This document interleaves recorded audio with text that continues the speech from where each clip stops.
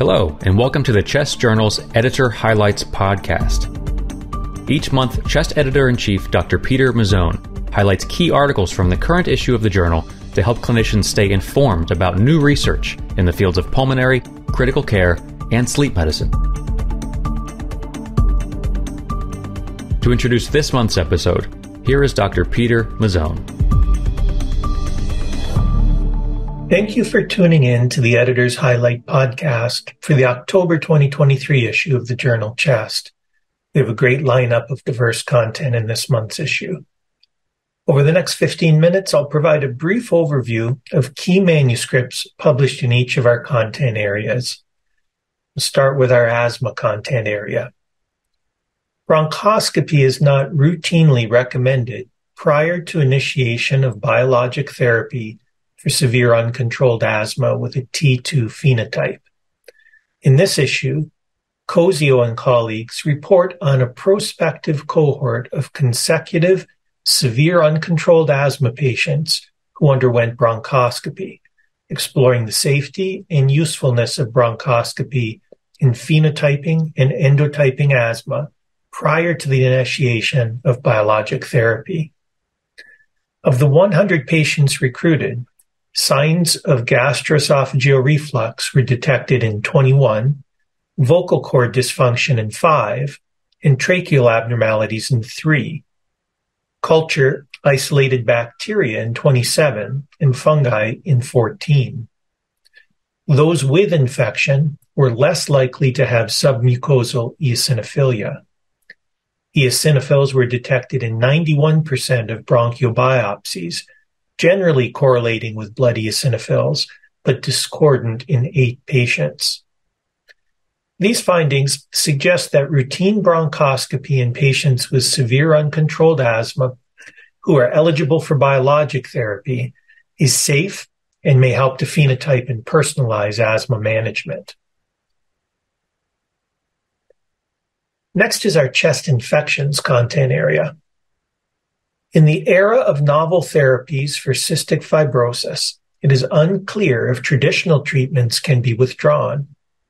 In this issue, Kadidis and colleagues report findings from a retrospective analysis of the Cystic Fibrosis Foundation registry designed to determine if in the era before CF modulator therapy, people with CF who received Dornase alfa and hypertonic saline have better preserved lung function than those treated with Dornase alfa alone. 1,241 patients with cystic fibrosis were included, 619 of whom received Dornase alfa only, and 622 who were treated with both Dornase alfa and hypertonic saline for one to five years. After accounting for variables to address confounding by indication, Patients treated with Dornase alfa and hypertonic saline had similar FEV1 percent predicted to those treated with Dornase alfa only. These results suggest that prior to the use of CF modulator therapy, adding hypertonic saline to Dornase alfa does not impact lung function in patients with cystic fibrosis. Also in this section, is an original research article that shares results of an open label trial of amikacin liposome inhalation suspension in Mycobacterium abscessus lung disease, and a research letter that explores the effectiveness of bebtelovimab against hospitalization and death from the Omicron BA4, BA5, and BQ1, BQ11 COVID-19 subvariants. On to our COPD content area. Inhaled corticosteroids may increase the risk of pneumonia in patients with COPD and are commonly used in patients with COPD bronchiectasis overlap. In this issue, Ritchie and colleagues report findings of a nested case control study obtained from a cohort identified through electronic health records designed to determine if the use of inhaled corticosteroids in patients with COPD bronchiectasis overlap heightens the risk of hospitalization for pneumonia. over 360,000 patients were eligible for the COPD cohort. The presence of bronchiectasis in this cohort increased the risk of pneumonia. In the nested case control populations, inhaled corticosteroid use increased the odds of pneumonia in those with COPD if used in the past 180 days, but did not further augment the already elevated pneumonia risk in those who also had bronchiectasis. In those with COPD bronchiectasis overlap, treated with inhaled corticosteroids, a lower blood eosinophil count was associated with pneumonia. These findings suggest inhaled corticosteroid use does not augment the already increased risk of hospitalization for pneumonia associated with concomitant bronchiectasis and COPD. Next is our critical care content area. It remains unclear whether intubation should be initiated early in the clinical course of critically ill patients. In this issue, Weines and colleagues used data from the Medical Information Mart for Intensive Care 4 database to emulate three target trials designed to determine if treatment strategies that intubate patients early in the critical care admission improve 30-day survival compared to strategies that delay intubation. 30-day mortality was higher with early intubation when strict treatment strategies with broad eligibility criteria were used, whereas mortality was not different when less strict treatment strategies and narrower eligibility criteria were used. Delaying intubation avoided intubation in most patients. These results suggest that treatment strategies and eligibility influence the impact of early versus delayed intubation, with equal mortality outcomes noted for strategies that are felt to be more realistic. Completing this section, are two meta-analyses. The first, a systematic review with meta-analysis and trial sequential analysis of lower versus higher fluid volumes in adult patients with sepsis. And the second, a systematic review and network meta-analysis of non-invasive oxygenation strategies in adult patients with acute hypoxemic respiratory failure. Onto our diffuse lung disease content area. The association between lifestyle and the risk of idiopathic pulmonary fibrosis and the extent to which genetic susceptibility modifies the effect of lifestyle on IPF are unclear. In this issue, Ma and colleagues developed a lifestyle score and a polygenic risk score for 407,615 participants from the UK Biobank study to determine if there is a joint effect or interaction of lifestyle and genetic susceptibility on the risk of developing IPF. Compared to a favorable lifestyle, both intermediate and unfavorable lifestyles were significantly associated with an increased risk of IPF. Participants with unfavorable lifestyle and high genetic risk had the highest risk of IPF. Approximately one-third of the risk of developing IPF was attributed to the interaction of an unfavorable lifestyle and high genetic risk. These results confirm that exposure to unfavorable lifestyle increases the risk of IPF, particularly in those with high genetic risk. Completing this section is an analysis of the United Network for Organ Sharing Registry that describes national trends, risk factors, and outcomes of acute in-hospital stroke after lung transplantation in the United States. On to our education and clinical practice content area. Despite an increase in the use of simulation-based training to teach flexible bronchoscopy skills to novice trainees, the effectiveness of this approach and key instructional features remain unknown.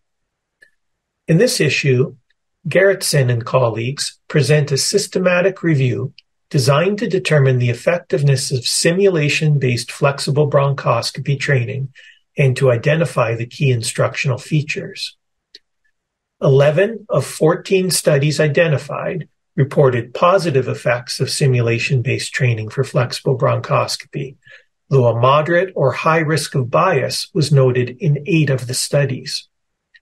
Instructional features and outcome measures varied highly across studies.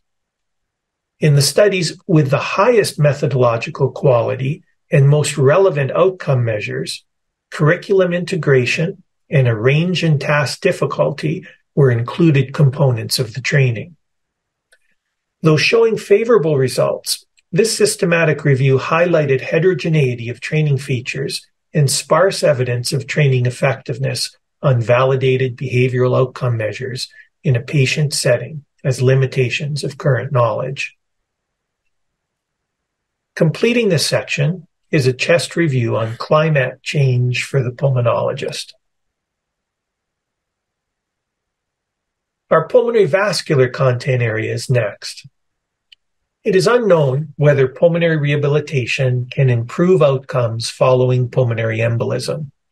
In this issue, Jervan and colleagues report results of a randomized controlled trial of patients with persistent dyspnea following pulmonary embolism, diagnosed at least six months prior, to determine if an exercise-based rehabilitation program improves exercise capacity. 108 of 211 subjects were randomized to two weekly sessions of physical exercise for eight weeks and one educational session. Participants in the rehabilitation group performed better on the incremental shuttle walk test and had better scores on the pulmonary embolism quality of life questionnaire. There were no differences in generic quality of life, dyspnea scores, or the endurance shuttle walk test. These findings suggest that exercise-based rehabilitation improves exercise capacity in patients with persistent dyspnea following pulmonary embolism. Completing this section is a chest review on lung transplantation for individuals with pulmonary arterial hypertension. Our sleep medicine content area is next. Glycemic variability is associated with increased risk for cardiovascular disease in patients with type 2 diabetes. The effect of positive airway pressure therapy for obstructive sleep apnea on glycemic variability is not known.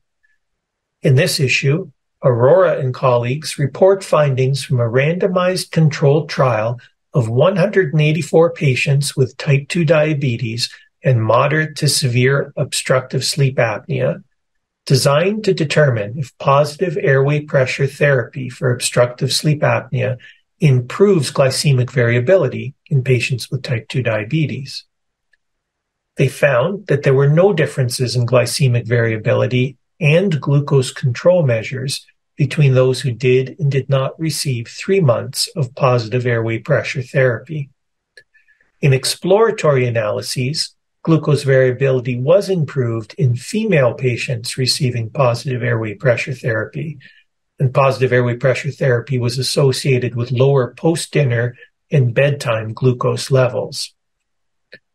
These results show no overall improvement in glycemic control or variability from using positive airway pressure therapy in patients with moderate to severe obstructive sleep apnea with type 2 diabetes.